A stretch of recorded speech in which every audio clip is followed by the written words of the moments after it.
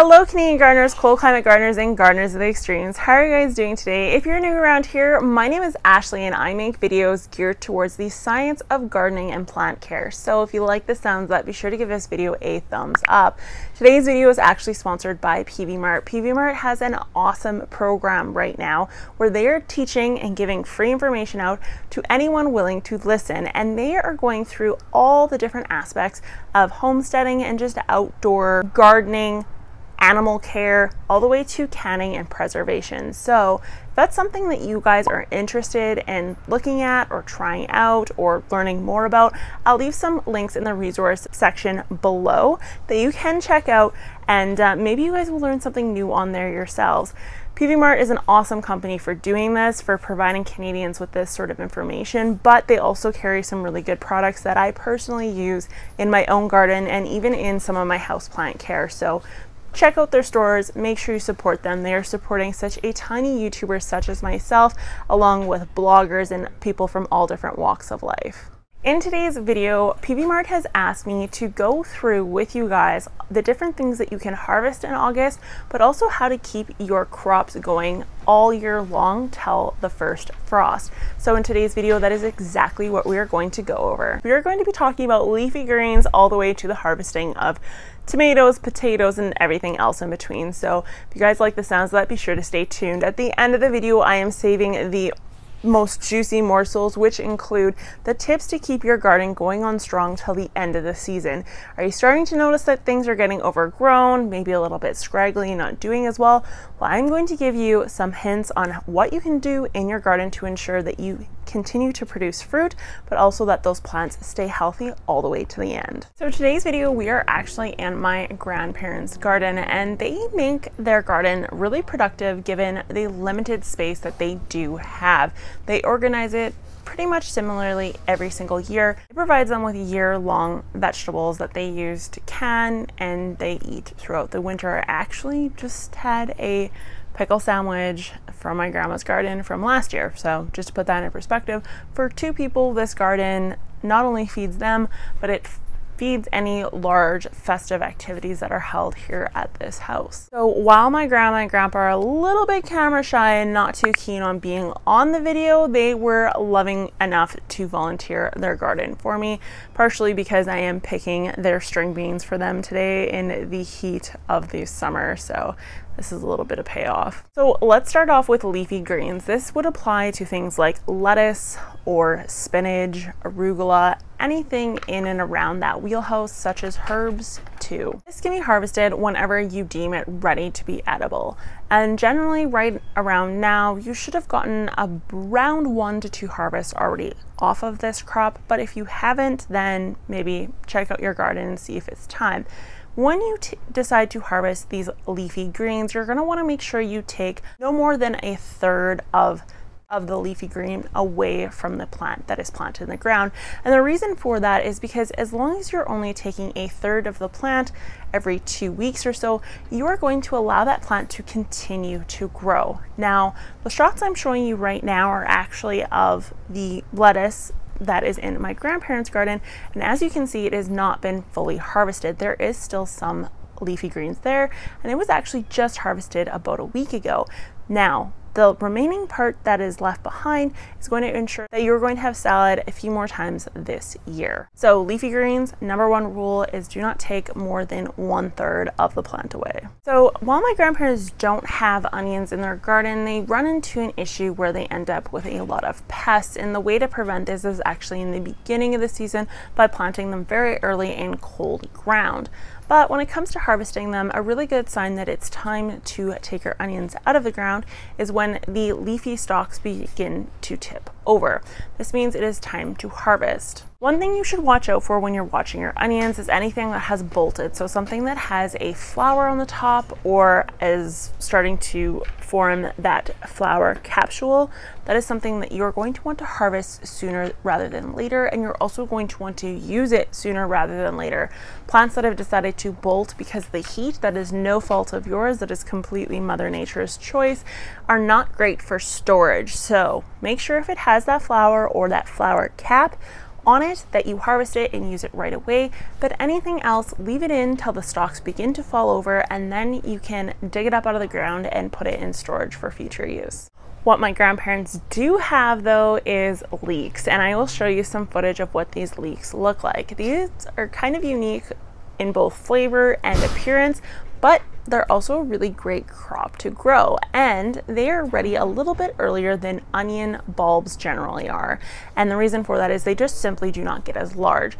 So the goal with leeks is to ensure that a bulb does not form and it's just a cylindrical stalk essentially. And it's going to depend on the variety of leek you have, but the cylindrical stalk can get anywhere from 3 quarters of an inch to 1 inch in diameter. And generally the best way to know when it's time to harvest that leek is when about 3 inches of the white stem is showing outside of the ground. So I'll show you some shots of exactly what it looks like when it is ready and that is when it is time to pull your leeks out and all you do is simply just pull upwards but another thing you can do is dig them out. Just make sure you dig down far enough so that you clear kind of the stalk portion and you get a full bulb to taste in your leek soup. So really fun fact about the carrots and beets turnips of the world is that they're actually ready when you deem them to be ready. And I know that sounds a little bit odd, but technically you can leave them in the ground or you can harvest them early. And in the case of carrots and beets, the earlier you harvest them, when you get the baby beets or the baby carrots, those are usually the sweeter, more flavorful type root vegetables. But if you're looking for something that is more of substance, a little bit more hearty, and maybe more of an intense woody texture, then you can actually leave them in the ground. And they are a cold crop. They're very popular for being able to withstand some frost. So there's no rush when it comes to carrots and beets, but I encourage you just to try them out a little bit early. Fun fact about the foliage on both carrots, beets, turnips is that you can actually eat the leafy green foliage. Now, it's going to depend on your desire for texture and exactly what you're going to enjoy and like, but there's lots of really neat recipes for both carrot greens and beet greens I encourage you to look up. One of my favorites is actually introduced to me by the Ukrainians of the world, and it is beet leaves um, rolled in rice. It's very delicious stuff. So again, those are options that you can use for the whole plant and I wouldn't shy away from harvesting these early because they they're pretty flavorful they're pretty tasty when they're they're newly grown another thing to keep in mind whether it's radishes or any root veg um, that has a shorter growing season is when you do pull them out say here at the beginning of August or middle of August. If you have an extended growing season or you think that the summer might be lasting a little bit longer than it normally does, do not hesitate to replant that area, maybe with lettuce or with more root vegetables. Generally, these take around 30 days um, to 60 days, and uh, that would be called a double crop cropping, which is really interesting and really cool method that will give you more vegetables in the future. Beans, peas, and legumes. Now, this is the reason why I'm actually here is to pick the beans that are in my grandparents' garden. And the best way to know when your beans, peas, and legumes are ready is when they start to look swollen. And I know that sounds a little bit odd, but that's exactly the view it gives you or the the look it has. It looks as though it's swollen with water, and that means that it is time to harvest. Generally, snap peas will kind of look limp or squished until they are ready, um, and once they fill out, then it is time to start plucking. When they do start to bloom and the beans begin to start growing, it is very important to note that you want to be in there every two days checking your legumes to ensure that you are harvesting any new pods that are forming or beginning to ripen. And the reason for that is if you are plucking and harvesting, you are essentially doing what you would do with a normal flower, which is called deadheading, and therefore the plant will continue to bloom and provide you with even more pods for the rest of the summer. So it's labor intensive, but it's definitely worth it because you can get a lot of beans off of a very small area of land. So be out there every two days, ensuring that you're picking so that you, that flower cycle continues forward tomatoes and peppers. Now, you guys probably don't have any tomatoes or peppers that are ripened yet. If you do have anything that's ripe, it may have been seeded early and is just a larger plant at this point, but I encourage you to wait if you're still waiting on those juicy red delicious apples of the earth. So hold off, let them sit on the vine for a little bit longer. And the main thing with these guys is you need to know your variety. So know what kind of pepper you have and know what type of tomato you have. This is gonna help you understand whether or not it is time to pluck that off the vine. Tomatoes become red because of carotenoids and lycopene, which are basically two chemicals within the fruit that cause that red or that orange color and it will not be released until the plant is ready. Now if you want to get tomatoes a little bit earlier then simply just cut off that tomato from the vine and let it ripen indoors. Ethylene gas will actually develop in the fruits while they're sitting on your counter and will self ripen inside. It'll happen a little bit faster than if you had them outdoors.